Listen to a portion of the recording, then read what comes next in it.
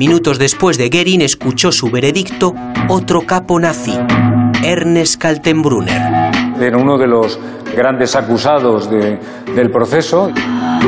Entre otros méritos, creó varios campos de concentración, como el de Mauthausen, el campo de trabajo esclavo en el que acabó el joven Boyce.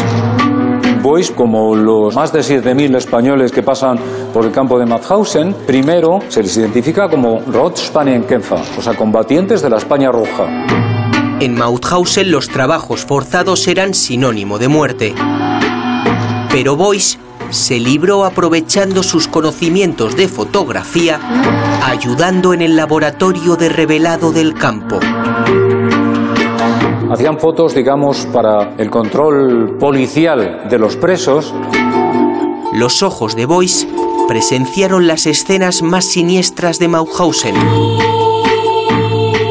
En su laboratorio se revelaba una y otra vez el camino hacia la muerte de muchos de sus compañeros. Con frecuencia un guardia les quitaba la gorra y la lanzaba más allá de la alambrada. Y el preso estaba obligado a ir a buscarla. Pues en el momento que se acercaba a la alambrada se le, se le disparaba. Muerto en intento de fuga. Quienes ya estaban muy desesperados se acercaban a la alambrada, que era una alambrada electrificada, el que la tocaba se quedaba como pegado y además el efecto de la corriente continua es que quedaban carbonizados, o sea, al cabo de, un rato. Lo que Boyce contaba de Mauthausen son las auténticas bestialidades que hacían los alemanes eh, con los prisioneros. Hacer experimentos médicos, poner inyecciones de gasolina en las venas a, a prisioneros para hacer pruebas, a ver qué pasaba uno que se colgó de la cadena del váter. El plan nazi preveía que usted, querido espectador, no viera estas fotografías jamás. Cuando iban a ser derrotados, mandaron destruir todos los archivos de los campos de concentración. Boyce cuenta que cuando esa orden llega, le encargan quemar esos negativos, destruirlos. Él consigue esconder una parte importante de ellos. Se habían hecho unas 60.000 fotografías y que él consiguió esconder unas 20.000. Cuando cayeron los nazis, el héroe de la cámara lo celebró subido en lo alto de la puerta de Mauthausen.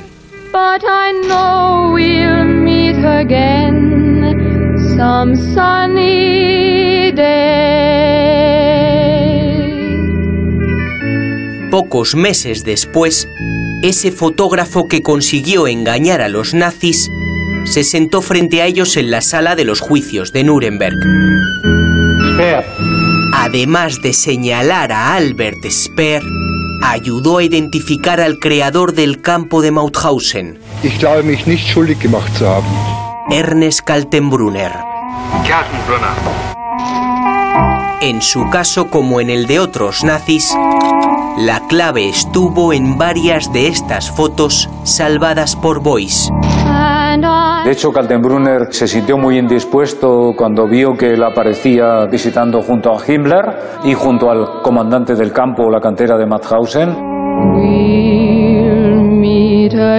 Es condenado a muerte y efectivamente es ejecutado.